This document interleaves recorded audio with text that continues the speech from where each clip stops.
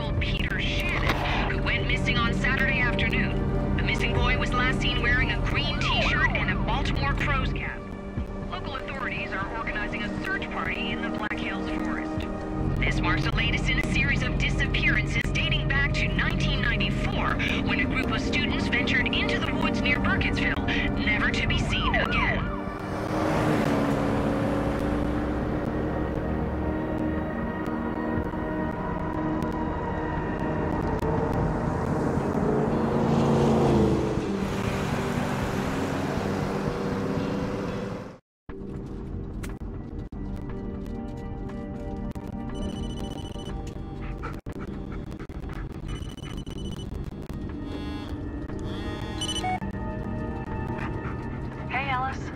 Jess, uh, hey. Yeah, it's, uh, it's good to hear from you. I, I didn't think you'd call.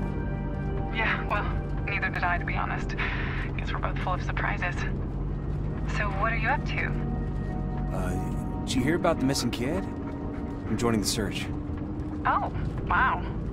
Okay. You, you think that's a good idea?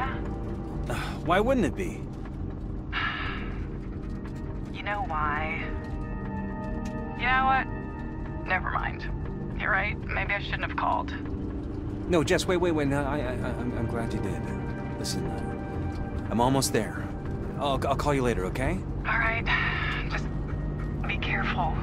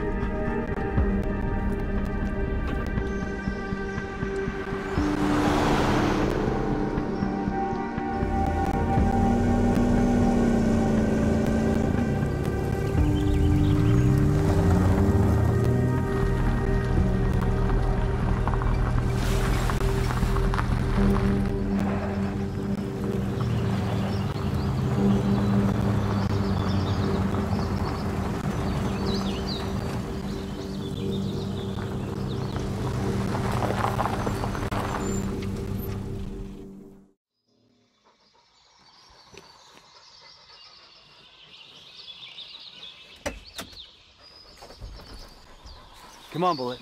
Let's see if we can find a way to contact Sheriff Lanning.